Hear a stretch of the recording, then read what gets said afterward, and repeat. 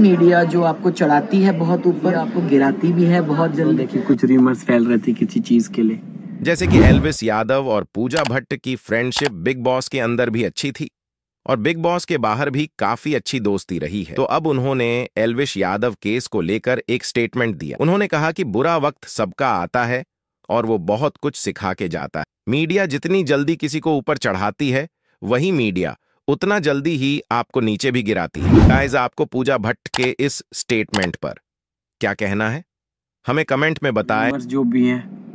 कुछ समय से ट्विटर पर ह्यूमर फैल रहा है कि लव कटारिया बिग बॉस 17 में वाइल्ड कार्ड जाने वाले हैं। उसको लेकर वो आज के ब्लॉग में ये बोले। ट्विटर पे की देखी कुछ रिमर्स फैल रहे थे किसी चीज़ के लिए।